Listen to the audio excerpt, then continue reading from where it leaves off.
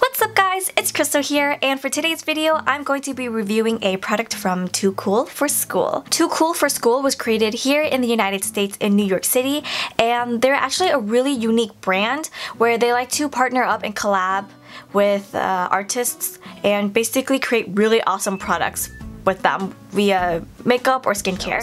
So the product that I am reviewing today is going to be the very popular product from them, the Too Cool for School Art Class by Rodin, the Contour Palette. Now I ordered this from eBay. I got this for $12.95 but I also paid for $2.80 of shipping from eBay from a seller which I will definitely link down below in the description box.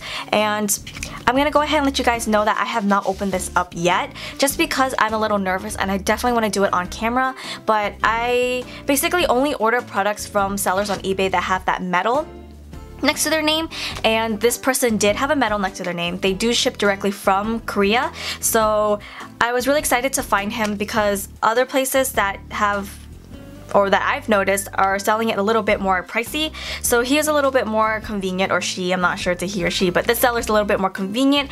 But I do always do my research with eBay sellers to make sure I you know, aren't surprised with anything that actually happens. So I'm gonna go ahead and let you guys know there were really interesting mixed reviews for this seller. Uh, most of them were saying how the wrong product was shipped to them or their product was used and it wasn't brand new to them. So I'm really nervous. I ho am hoping that this product is brand new, but uh, I ordered three products from the seller and all three came to me quickly. I ordered April 6th, it came to me April 14th. So it took about a day over a week for it to ship to me, which is the fastest shipping I've ever had from a seller from South Korea or basically most of the places that aren't in the States. Usually it takes two weeks, but this seller sent it to me actually right away. So it's actually I don't know, I really, really, really didn't expect that. So the shipping is amazing.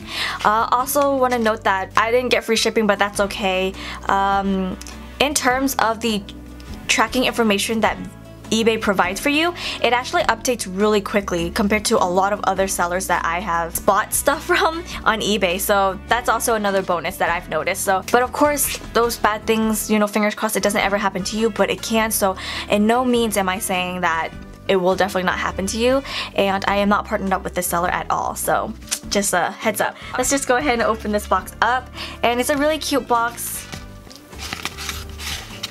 so let's open it up. I'm a little scared. Okay, comes in this wrapping paper here. Don't really want to ruin it so I'm just gonna slide it out.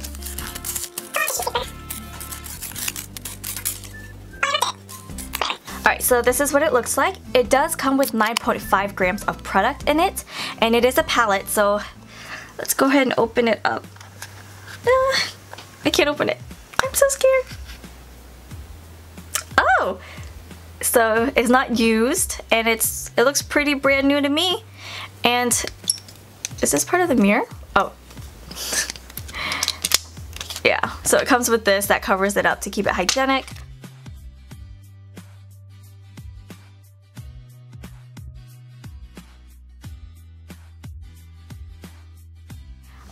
We're just gonna go ahead and roll over to that segment where I show you guys how I use the product.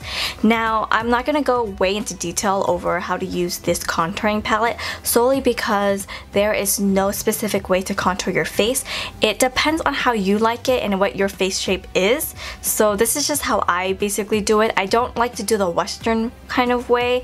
I do kind of like to do it kind of the innocent, more tweaking of my face shape, making it more defined a little bit more compared to making it chiseled. So for this product, I do use two brushes. So both of these brushes are actually another set I bought from Ulta. The first one is the Real Techniques blush brush.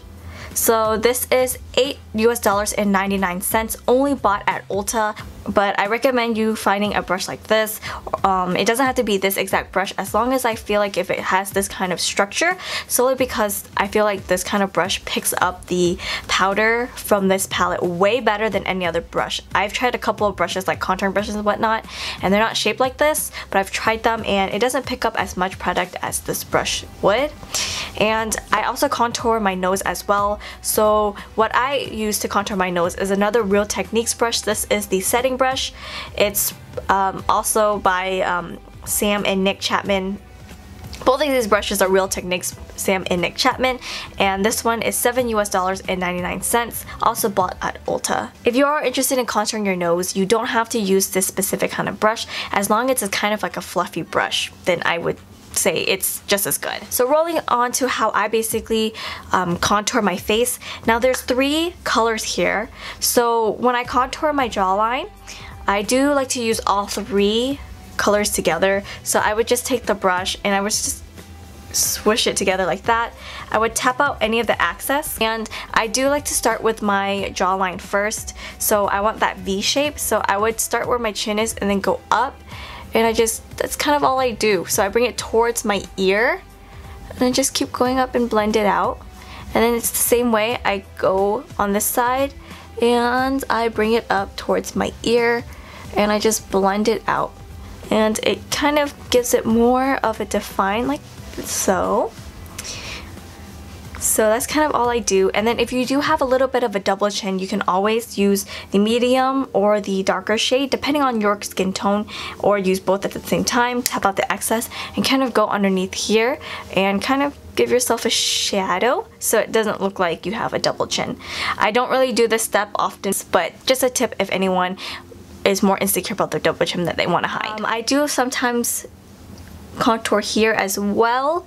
And if you're doing that I squish it all together and I tap out the excess again. And then I go in here and I do go towards the hairline. So I would go like this because you want it to go towards the hairline. If you're doing just like that, it doesn't look right. You want it in the hairline, it looks more natural that way. So that's if you want to do that. And that's kind of how I just contour my face. I don't really do the chiseled cheekbone kind of look. I try to keep it minimal and more natural in my opinion. Now moving on to my nose, I use the setting brush and I only use two colors. I use the lightest color and the medium color. Now both of these colors work either way. It depends on your skin tone once again. And sometimes I do use both of them together. And then when I do swish them together I tap out the excess and I start right here. And I kind of bring it all the way down here. And then I kind of go underneath here. So it's kind of like this. And then same thing swish it tap it out this side from here bring it down, curve together and down here. And then whatever's left over, I kind of finish down here to add more dimension and a little bit right here, just to add dimension. Because if you do just that, it looks really flat and unnatural. So I like to add a little bit right um, here. Contouring doesn't have to be one specific way. It's how you like it as long as you are blending out those contouring shades. I think it's pretty natural. It's good to go. It doesn't really matter how you do it. Alright, so now that I showed you guys how I use this product and what tools I use to apply the product on my face, let's just go ahead and roll on over to my first impression of this product. So I read that a lot of people like to use the three shades, maybe separately or mixed together, um, just in specific areas of their face, and some of them even just mix all three together because they just, it's whatevs. But I know, I feel like this is a better contouring palette for those who are lighter skin or fair skin, but maybe it can be buildable, I'm not sure, this, but let's just go ahead and roll into trying this out.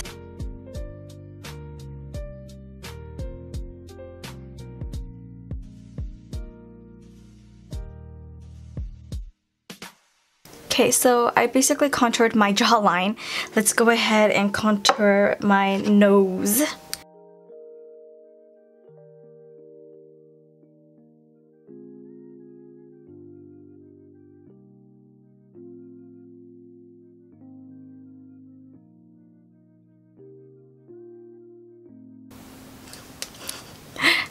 Alright, so here is the finished look of the contouring uh, that I did with this art palette. So far, so good.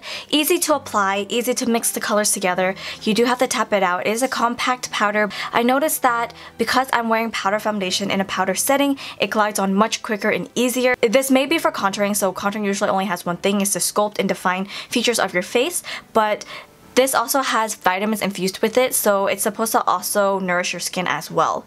So another thing I just didn't remember to mention. But I'm just gonna go ahead and go throughout the day with this and see how it goes. So far I do like it because it is a lot like my skin tone. Uh, I noticed that when I use my e.l.f. palette, even though I have raved about this e.l.f. palette, this contouring shade and I love the gold shimmers and everything, I noticed that sometimes or the longer I wear it, there's like a red undertone to it so it makes that part of my skin look red. So hopefully Too Cool for School's uh, contour palette doesn't do the same for me, but we'll definitely see as we go out throughout the day. Hey guys, so I basically wore the Too Cool for School Art Class by Rodin contouring palette for about 9 hours straight. And it looks like the contouring is still there. I don't it didn't it doesn't look like it budged or anything at all. The contouring on my nose here and on my jawline, it seems to have stuck. It didn't really transfer or budge and throughout the day, normally with my other contouring palette, uh, or not palette, but with my other contouring uh, shade that I use, it gets red throughout the day, but this one, it held up pretty well. Like, it didn't really get red and it stayed the color that I applied it with. So, so far so good and I'm just gonna keep using it for a little while longer and we'll see how I feel about it after a couple more uses. Welcome back to present day where it's been about two weeks since I first used the Too Cool for School contouring palette and let's just go right into the pros like always. So first pro, it's long lasting. Second pro, it's lightweight. Third pro, uh, the packaging is actually really nice, really slim. It's small, thin, there's a mirror in here. You can easily slide this into your purse if you want to do retouches throughout the day or if you're just on the go and you have to do your makeup on the go. So this is travel friendly in terms of its size. Um, the fourth pro is that this has three colors to it or three tones or shades to it. So you have three tones to work with. So depending on which area of your face that you want to define, if you want to make it more defined and sculpted, you can use the darker shades. If you want to make it natural but still defined, you can use the lighter shades. You have three shades to work with. Um, another pro, I totally lost count. I think I'm at four or five. Four? Anyways, I'm gonna stop counting from here. But another pro is that this palette is actually really soft, really smooth. So if you ever touch it with your hands, it's so incredibly soft. I, I just really like how soft it is.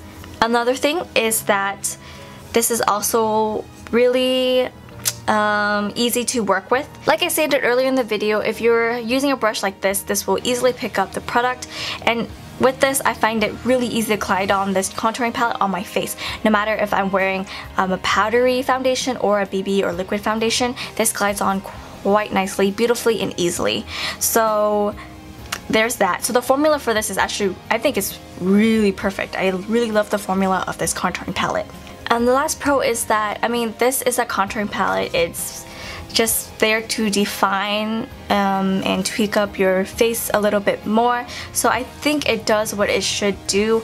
It is a natural kind of contouring palette, so it does have a really nice natural finish and it actually works in thin layers. It's not very pigmented, so for those who are looking for a really pigmented contouring palette, you either have to layer this on or you just want to kind of move on and find another contouring palette that's highly pigmented because this works in thin layers and personally the reason why I think that's a pro is because if you're working in thin layers, it's easier to blend and it's easier to tell how much more product you need to add onto your face um, to make that area of your face more defined. So if you're working with thin layers, it's a lot easier in my opinion. If you're kind of working with really pigmented contouring palette, I feel like it's a little harder to control.